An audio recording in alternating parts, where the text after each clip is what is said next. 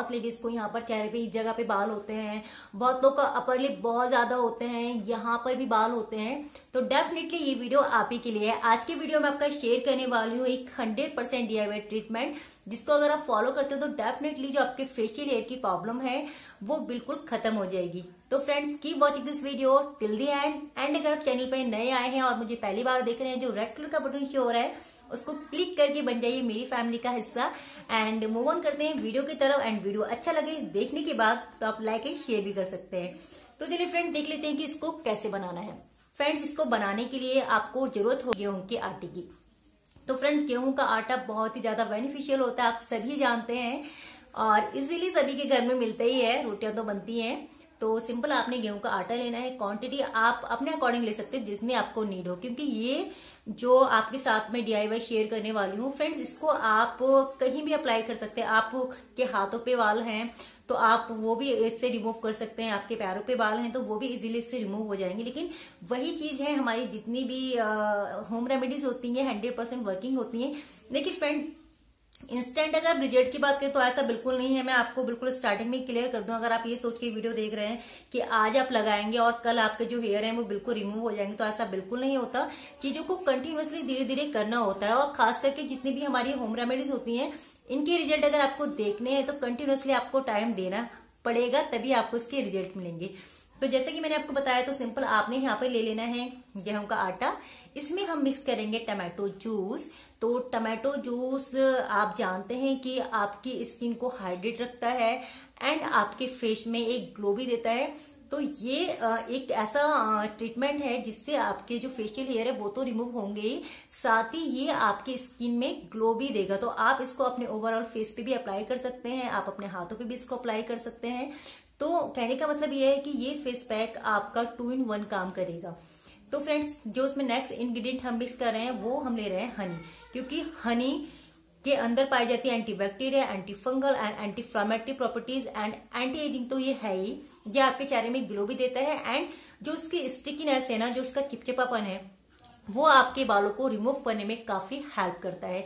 इसके बाद आपने क्या करना है? आपने लेना है कच्चा दूध। कच्चे दूध में हम इसको मिक्स कर लेंगे। एंड इसके बाद जो हमारा लास्ट इंग्रेडिएंट है, वो है शुगर तो शुगर को आपने क्या करना है? चीनी आपने लेनी है और उसको क्रश कर लेना है। उसको पीस लेना है आपने और देन इसमें मिक्स कर लेना है। तो आप देख सकते हैं कि हमारा जो ये एक डीआईवाई पैक बनके तैयार है। फ्रेंड्स ये इतना इफ़ेक्टिव है आप, मैं नहीं कहती कि आप इसको दो दिन करिए, चार दिन करिए या पाँच दिन करिए, बिल्कुल नहीं। इसको कंटिन्यूसली आपको मंथली करना पड़ेगा। मीन आपको कंटिन्यूसली इसको लगातार एक महीने तक करना पड़ेगा, तभी आप इसके रिज़ल्ट देख पाएँगे। ऐसा बिल्कुल नहीं होता कि आपको दो दिन में या चार दिन में रिज़ल्ट दिख जाएँगे। बट डेफिनेटली आप इसको कंटिन्यूसली जब एक हफ़्ते तक करेंगे ना तो एक हफ़्ते के अंदर ही अंदर आपको रिज़ल्ट नज़र आने लगेंगे। तो तरीका क्या है, वो भी मैं आपको बता देती हूँ। रेमेडी आपने देख ली, इसको कैसे बनाना है और उसको जो एप्लीकेशन है, वो भी हम देख लेते हैं इसको कैसे लगाना है। तो फ्रेंड सिंपल आपने ये बना लेना है। एंड जहाँ पर भी आपको हेयर है, जैसे आपको इस पोर्शन में हेयर है, अगर मैं अपनी बात करूँ तो मैंने कभी भी आज तक अपर लिप नहीं कराया है। देखो फेशियल हेयर की हम बात करें ना फ्रेंड तो आप हमेशा ध्यान रखिए, ऐसा तो कोई भी नहीं है जिसको फेशियल हेयर ना हो। फेशियल हेयर या हमारी बॉडी में हर जगह हेयर तो होते ही हैं।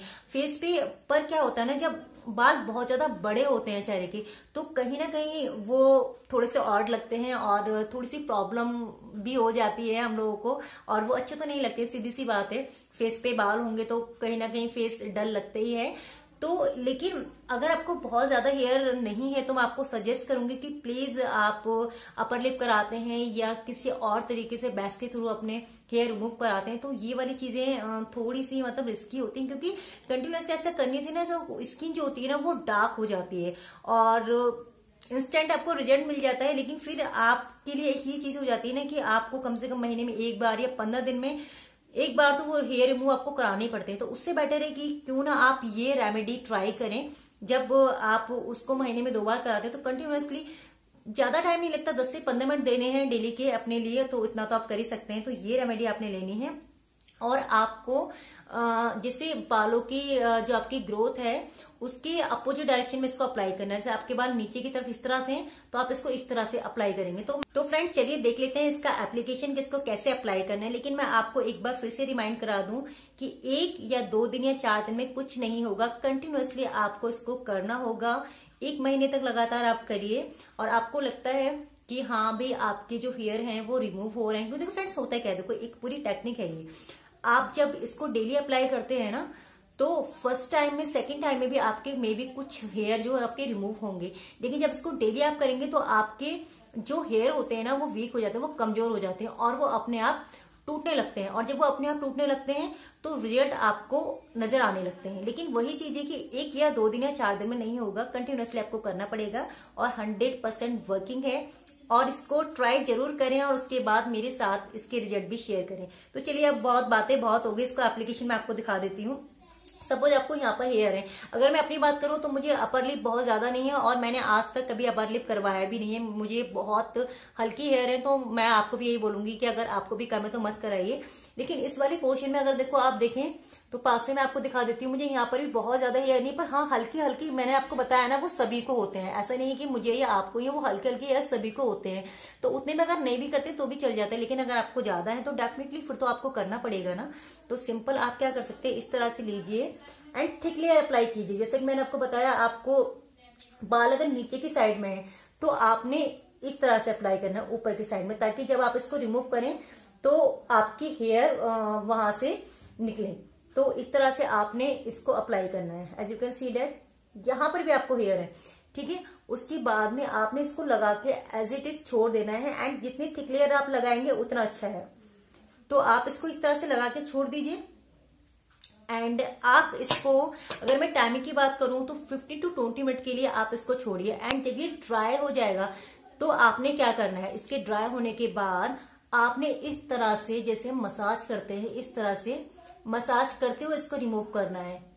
कम से कम आप 30 टू वन मिनट के लिए 30 सेकंड के लिए या वन मिनट के लिए मसाज कीजिए। और आपने डेली ये करना है। आप डेली करेंगे तो आपके जो बाल है ना या कि वो कमज़ोर हो जाएँगे और अपने आप खत्म होने लगेंगे। तो फ्रेंड्स मैं आपको हमेशा कहती हूँ कि अगर आप चाहते हैं कि आपकी स्किन लॉन्ग टाइप के लिए ब्यूटीफुल रहे एंड उसमें ग्लो रहे तो आप जितना नेचुरल रह सकते हैं, उतना नेचुरल रहिए। नेचुरल चीज़ों के साथ जितना जुड़ सकते हैं, उतना जुड़िए। क्योंकि नेचुरल चीज़ें जो होती हैं, हमारी जितनी भी हर्बल चीज़ें होती हैं, मैं आपको हमेशा बार बार रिमाइंड कराती रहती हूँ कि वर्क करती हैं, लेकिन स्लो करती हैं, लेकिन इनका वर्क भी फिर लंबे टाइम के लिए रहता है। एंड जितने आप आर्टिफिशियल चीज़ें लेते हैं मार्केट से जितनी भी केमिकल वाली क्रीम लेते हैं, आप जैसे आपने कोई भी पील ऑफ़ मार्क्स लिया, आपने उसको लगाया और आपके हेयर इंस्टेंट रिमूव हो जाते हैं, लेकिन वो रिमूव तो हो जाते हैं, लेकिन अगेन आ भी तो उतने जल्दी जाते हैं ना। तो उससे अच्छा है कि ये वाला ट्रीटमेंट आप फॉलो करें, ये वाली रेमेडी आप ट्राई करें तो आपको रिज़ल्ट ज़्यादा अच्छे मिलेंगे। तो इस तरह से आप इसको रिमूव कर लेंगे। देन आप वॉश कर लीजिए। तो मैं इसको अभी इसी तरह से क्लीन कर लेती हूँ। तो एक बार में नहीं होगा, मैं आपको पहले कह रही हूँ, लेकिन आपको कम है तो आपको रिज़ल्ट एक हफ़्ते के अंदर अंदर नज़र आने लगेंगे। तो इस तरह से मैंने इसको रिमूव कर लिया। तो आप वाटर के साथ में इसको क्लीन कर लीजिए। तो था ना इजी वही मैं आपको बोल रही कि हल्की फुल्की अगर आपके हेयर है तो आप इतनी टेंशन ना लें, वो सभी को होते हैं। लेकिन अगर आपको ज़्यादा ही है तो डेफिनेटली आप इसको ट्राई कीजिए और इसके रिज़ल्ट हंड्रेड परसेंट वर्किंग है। एंड मेरे साथ शेयर ज़रूर करिएगा। तो तो फ्रेंड्स ये था मेरा आज का वीडियो एंड बहुत ही इजी एंड इफ़ेक्टिव रेमेडी के साथ में मिलती हूँ आपसे नेक्स्ट वीडियो में। एंड वीडियो कैसा लगा है, ज़रूर बताइएगा। एंड कोई क्वेश्चन या सजेशन है तो डेफिनेटली आप मुझे कमेंट सेक्शन में पूछ सकते हैं। मिलती हूँ मेरी नेक्स्ट वीडियो में। Be positive be happy till then bye